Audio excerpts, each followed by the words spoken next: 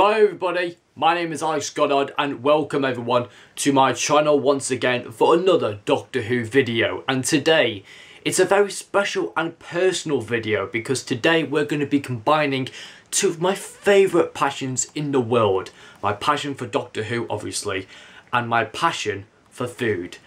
I am a chef, I'm a fully qualified trained chef and I cook food on a day-to-day basis and it's pretty much the whole passion of my job. I love cooking food, I love eating food, but in Doctor Who, I love food references. I absolutely love food references in Doctor Who. They're so funny, they're so eye-catching, they add a little bit of humour, which is not necessarily the best bit, but they also add some relatively good bits in terms of plot development and story development as well. They're obviously seen as a good gesture, but in some cases they can be used as a weapon. And so yes, today we're going to be going through some of my favourite food references from Doctor Who. These are going to be in no particular order. I'm just going to name some of my favourites and some of the most iconic Doctor Who food references and maybe there'll be one or two surprises that you might actually not think this will be in this list but it will be though. So definitely stay tuned in this video. Make sure you like this video and please comment down below any of your favorite food references that you might have throughout Doctor Who. And so I want to start off this video by saying this. If you can't stand the heat get out of the kitchen. Too many cooks will spoil the broth. Whoever spills the milk first will cry let's get it on, shall we? And so we start off with possibly the most weirdest food combination of all time in Doctor Who history.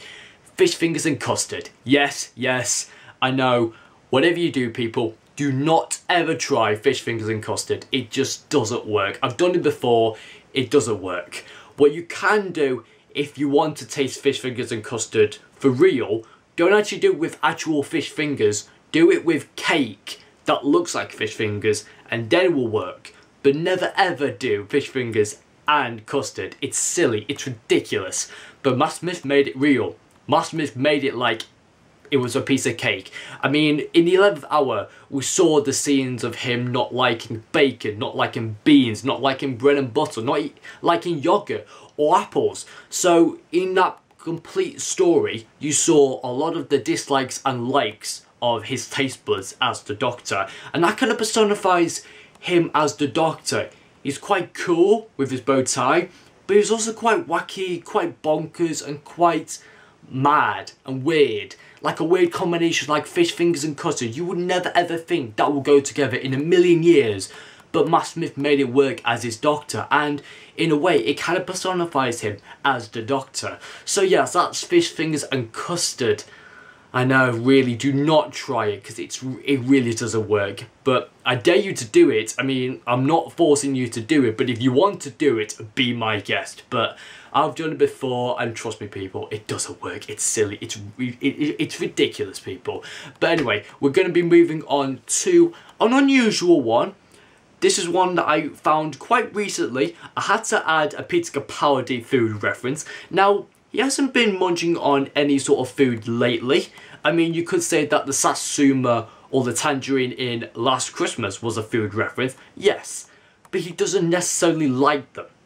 But one of the foods that I do picked up that I recognised, and he did eat one particular food in the World Enough and Time finale, crisps. Yes, in the first scene of World Enough and Time, you saw the Doctor in his TARDIS, lying on his chair, eating a packet of crisps. It's so funny. I had to include it in this list because as my favourite Doctor is Peter Capaldi, I had to include a food reference somewhere, but he rarely eats any food in his series apart from the one time where he mentions, I thought I sent you to Birmingham for a packet of crisps to Nardole in Oxygen, and then eats a packet of crisps in World Enough and Time, and also eats fish and chips as well with Bill as she serves chips in series 10. And so yes, um, that one's a weird one for me. Again, if you're watching this from the US, any potato chips are available if you don't have crisps in your uh, country. Apologies if I may have offended anyone. But yeah, the uh, the crisps was a really funny one because he was eating them as he was watching Missy, Nardole and Bill explore and investigate an abandoned ship. And he was like watching them, it's like, oh, are you eating crisps? No, no, no. I said, don't watch me eating crisps. I found that so funny and so hilarious to watch. I mean, the doctor obviously gets distracted by eating some crisps instead of watching what they're actually doing. It's just simple enough. Peter Capaldi likes to distract himself, and I think with crisps, it's the only way to do it. now, let's move on to the classic series with our first Classic Who food reference. Stick of celery on the Fifth Doctor's jacket. Obviously the most iconic vegetable in the entire of Doctor Who's history. I mean, Peter Davison doesn't like celery, let's say that. Peter Davison doesn't like celery. But, in a way, it does have a significant reference to save his life. And this is the reason why I'm not naming food references just because they're funny or like they're a really good gesture. Sometimes food references can act as an extra bonus to a story. And within this particular um, food reference as the celery, it actually helps him out in a way like it turns purple when it's on like some kind of planet with like some weird gas. I can't remember what episode it was, please tell me if you know it. But also it does help him in a way to save his own life. So you could say that the celery acts more as like a second helper in a way to the doctor's aid and I think that's really good. Having like that kind of reference as the celery. Obviously, he eats the celery and spits it out because he hates celery. But really, it's such a very, an, an iconic vegetable.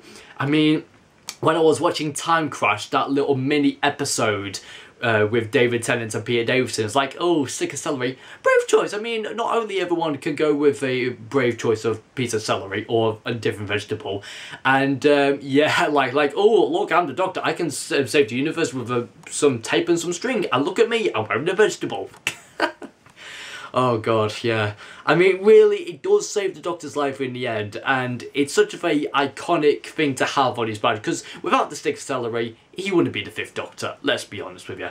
And so, yes, let's move on to the next one, which we've got... One of not everyone's favourite companions, Clara Oswald, or as I should call Oswald, with the word souffle, souffle girl. We're gonna go with souffles. Now, I think souffles is a very, very technical dessert. It's one of the things that is so, so hard as a chef to get right because it's on many, many different levels. You have to get the complete air into the souffle to make it rise without using, you know, wasting a lot of like gestures of beating it, removing all of the air out, trying to keep in as much air as possible. Yes, I'm talking in chef food terms, deal with it, okay? I can't believe I'm actually talking in chef terms, really. It's so weird. but I do talk about food on a day-to-day -day basis, so I can't really um, argue with that. But yeah, the, uh, the souffle one is a very, very great uh, way to give Clara a bit of backstory because the whole episode in the Asylum of the Daleks, where did you get the milk and the eggs from? It was all a dream in the um, Asylum of the Daleks episode. And then when it came to the Bells of St. John, when the doctor realized that he likes to make souffles and then you know the doctor got you know realized that this could be the same girl who likes to make souffles. And the souffle kind of had a real good interconnecting link throughout the whole series of series of series 7 and I found it was a really good reference. I mean obviously when you try and make souffles you need to serve them immediately otherwise and keep an eye on them because they do burn really easily. Unfortunately, Oswald in Asylum of the Daleks didn't do that, and she ended up burning pretty much all of the other souffles. So, yes, gotta keep your eye on your souffles, that's for sure. And so, next up, our other food reference, we're gonna go with one that I picked up a long time ago. This is a classic Who food reference that you might have not picked up on, but I watched it and I now realise that sometimes in Doctor Who you can have food gestures that are, you know, food references that act as a good gesture, like a sense of friendship or a sense of helping.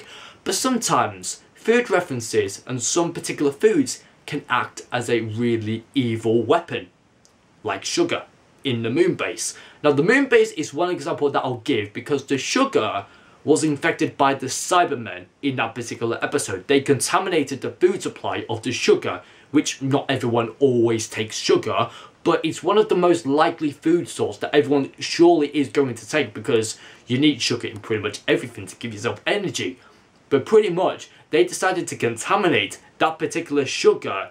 So when people decided to take it, they'd get infected with a virus, which will obviously control their minds. And it was such of a unique way as such of a, a compromising weapon to use in that particular story, the Moonbase, which is one of my favourite Sandman stories of all time. And I personally think that contaminating a food supply like sugar is always a deadly, deadly thing to use. And I know about food contamination as a chef, and we always try and avoid cross-contamination completely without crossing over many to germs or bacteria.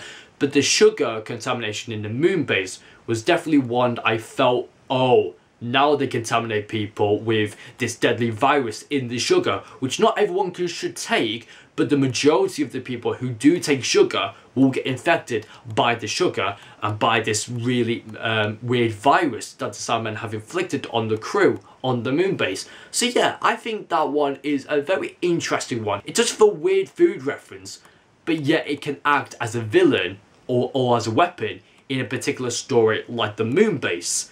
And so yes, let's move on to our next one, which we've got, just having a little look at my list. Ah yeah, that's it. Bananas.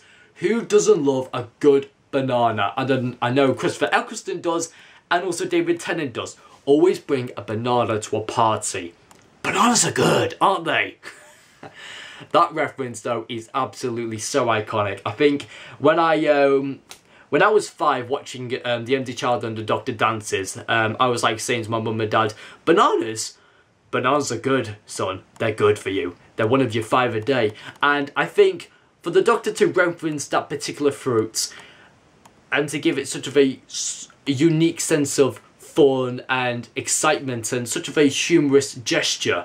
I mean, like, you know, but bananas are good sense of potassium and like he was doing it in like you know using the banana as a gun it's a good source of potassium and um, yeah I think the banana one is definitely so funny and so it gives children these days a little bit of information about the banana that it's good for you you should definitely eat it. it's one of your five a day but yeah, it's so, so, so funny to use. I mean, Christopher Eccleston, I remember him just saying, like, there's a banana grove that grows there. I like bananas. Bananas are good, as always.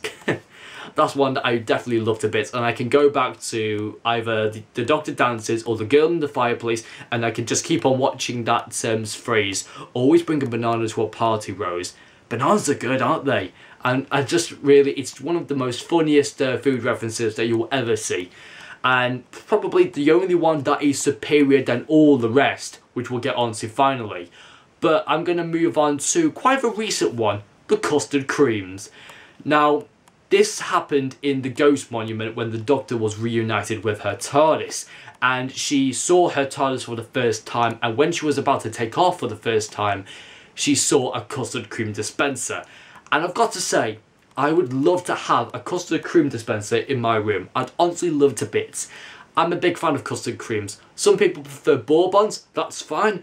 But as a custard cream lover I always love custard creams. And to have that food reference in that particular episode I thought as a neat little gesture as a custard cream dispenser in the TARDIS I can't really argue anything. If I was in that TARDIS and I pulled the lever down and the custard cream just fell down through a little shaft and I picked it up, I'd be like, I've just been quiffed. It's like the advert. It's like that one guy, um, you know, picks up a falling glass and he's like, he's staring at it like, this is the most amazing and the most ultimate custard cream I've seen in my life.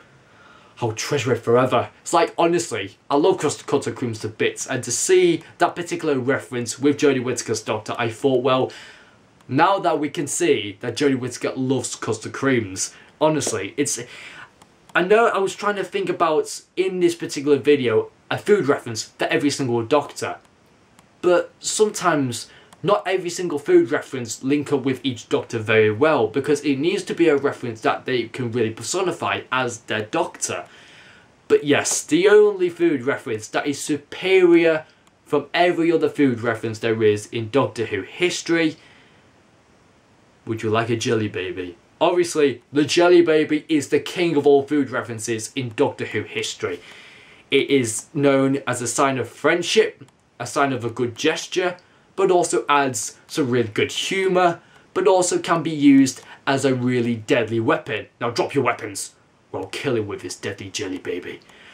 And no, seriously, sometimes I watch Tom Baker give out jelly babies when he's in a really angry mood, like, take this jelly baby, or kill him with it. But then there's sometimes where he's just really, a, when he's really being such of a sarcastic clown, he's being a fool, he's being a selfish and really irritating, um, funny person.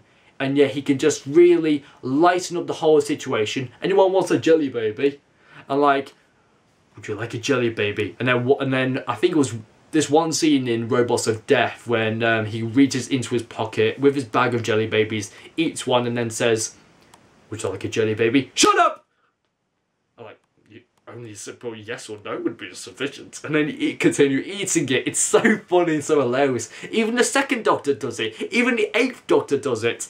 And I think maybe the tenth Doctor would have done it. I don't know really, but honestly, the Jelly Baby is possibly the king of all food references, and I think everybody could not even deny a Jelly Baby, even if they were asked to, because it's like a sense of friendship. It's like a sense of a great gesture towards somebody else. Like, would you like a Jelly Baby? And they can't really say no because that's like saying, I don't like Doctor Who. I don't like jelly babies. Leave me alone. It's like, you hate jelly babies.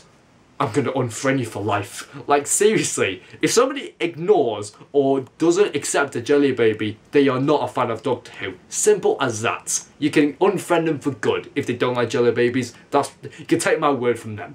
but yeah, seriously though, guys, if you have any more food references that I've missed or I've missed on my list, then please make sure you comment them down below. Don't forget to like this video, share and subscribe for more Doctor Who content. Thanks so much everyone for watching and until next time, take care of yourselves and I'll see you soon in the next video.